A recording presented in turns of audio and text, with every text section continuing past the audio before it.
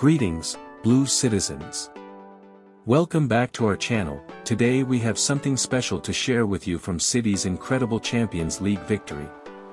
But before we get into that, make sure to like this video and subscribe to our channel so you don't miss any news from our club. Now let's get down to business. Our team faced BSC Young Boys and secured their passage to the round of 16 of the Champions League. The game was comfortable, as expected, with Pep Guardiola making some changes to the lineup. Erling Haaland scored the first goal from the penalty spot after a clever move by Matheus Nunes in the box. And the star of the night was Phil Foden. Match details, Foden amazed us with a spectacular goal.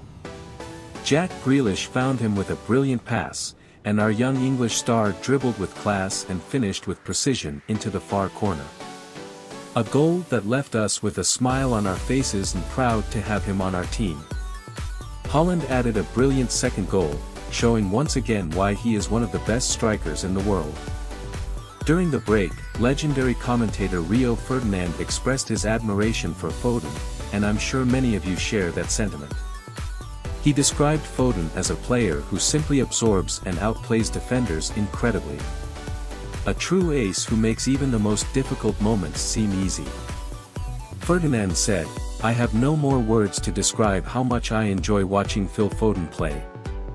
He praised Foden's ability to control the ball, his speed and strength, as well as his calmness in front of the goalkeeper. And of course, that last touch to set up the goal was truly spectacular. Guys, we couldn't be more proud of what Foden did on Champions League night. He showed us all why he is one of the best talents in England and, without a doubt, the world. Our team performed professionally and Foden was the highlight. His goal was magnificent, a true gift for the eyes of City fans. It's the kind of magic that makes this club special. Now, before we close, I ask you to leave your thoughts in the comments.